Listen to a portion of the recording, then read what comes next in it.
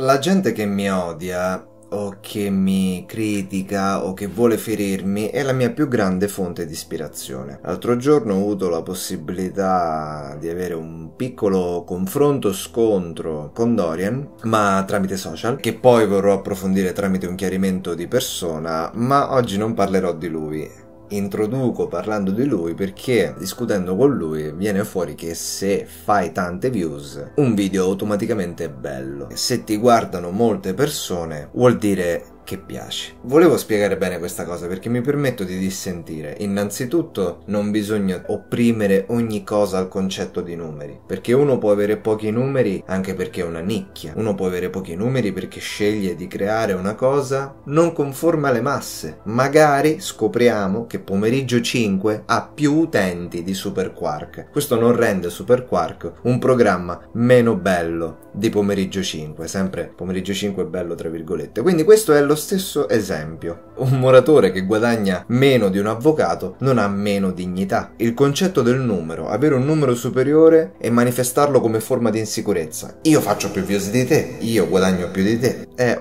una cosa patetica. Di questo argomento, per quanto concerne Dorian, ne vorrò parlare di persona e spero anche in un video proprio con lui presente, ma oggi approfondisco questo concetto. Trovo patetico questo discorso e mi preme tantissimo affrontarlo. Solitamente su Revolution faccio i video solo quando me la sento, quando sono davvero ispirato e in questo caso lo sono davvero, perché non sopporto questi ragionamenti, non sopporto questo modo di fare. Intanto ogni youtuber può portare solo un certo tot di visibilità a un altro, cioè se io vengo sponsorizzato da un canale come Dario Moccia, ci sarà più possibilità di avere numeri rispetto a un canale che fa totalmente l'opposto, che ne so, un canale che tratta Squishy, una mia carissima amica, Corinne Mantineo, che tratta l'All Surprise, queste cose, collaborando con lei, anche se lei ha 300.000 iscritti. Difficile che lei mi porti tanto pubblico, ma non perché lei non sia brava, non perché lei non faccia il suo onesto lavoro su YouTube e non perché lei non abbia seguito, ma perché il suo pubblico, che saranno le bambine, le ragazzine, dai 5 ai 14 anni, non possono essere il mio pubblico, che è una fascia 18-24, addirittura volte 24-35. Questo ragionamento vorrei che vi fosse chiaro perché tante volte tantissime persone se ne escono con ma quello fa più views di te quindi è meglio di te. No, veramente no, magari ha puntato su un genere virale per analizzare ad esempio i video che fa Dorian ma come altri che magari lo fanno, il titolo magari è virale, magari stai facendo un video sul trend del momento, magari stai facendo un video sulla tendenza che in quel momento impazza che possono essere i me contro te, quello che anch'io quando faccio video parlando dei me contro te faccio views ed è una cosa assurda perché mi chiedo come può muovere, come possono muovere tutta quella mole di gente. Quindi il punto è questa volta veramente alzo le mani, non è per attaccare qualcuno, però è giusto esplicitare questa cosa, anche perché in questo canale di qualcosa dobbiamo parlare ogni tanto quando credo che si possa tirare fuori un'argomentazione costruttiva facciamolo e dico perché il numero deve determinare la qualità di un prodotto, non è così. È chiaro che nelle leggi del mercato un prodotto più a numero più è vendibile, più è finanziato, più è portato avanti, ma questo capita anche con i programmi trash scadenti. Pomeriggio 5 sarà sempre in tv. Tantissimi programmi della televisione che noi consideriamo banali continueranno a esistere perché c'è un pubblico di massa che li guarda. Il Grande Fratello non è di certo il programma più istruttivo, educativo, è bello che ci sia come uomini e donne, ma continuerà ad esserci perché ha un pubblico di massa. Questo non vuol dire che è un bel prodotto, ma vuol dire che punta magari all'ignoranza della gente, alle masse. E sinceramente, mi scuso, ma io non sono fatto per questi contenuti. Nel mio primo canale, anche in questo cioè, cerco di fare qualcosa di intelligente. Nel mio primo canale faccio le interviste che a volte è più lo sforzo che il guadagno, però sapete, qui lo dico e lo ribadirò forse poche volte, a me interessa rimanere anche nella storia delle cose. Il primo che ha intervistato quei personaggi lì, il primo che ha raccontato la storia di come è nato il doppiaggio nei videogiochi, il primo che si è preso la briga di creare un dossier video con delle interviste di altissima qualità, di personaggi che tutti avrebbero voluto intervistare, ma, ma pochi sono riusciti a farlo. La morale è che tutti dovremmo fare ciò che ci sentiamo, facendo anche un compromesso alle volte, ma fare troppi compromessi con la propria intelligenza, con i, i contenuti che possiamo portare se solo scegliamo di, di amare quello che facciamo, una cosa migliore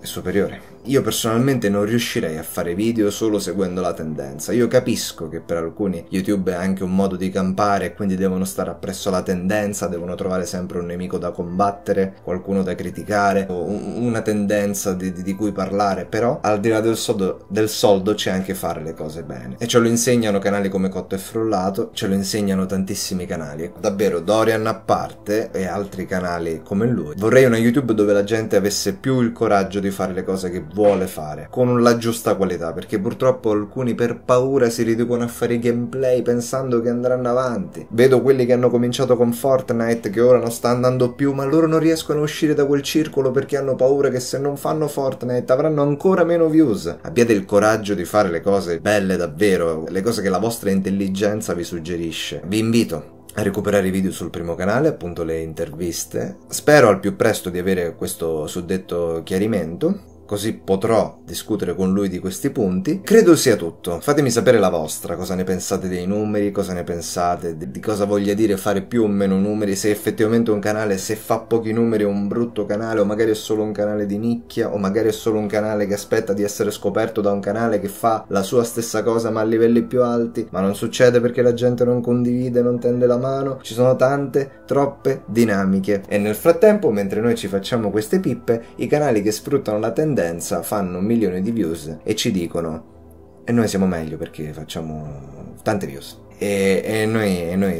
rimaniamo così tipo eh, eh. al prossimo video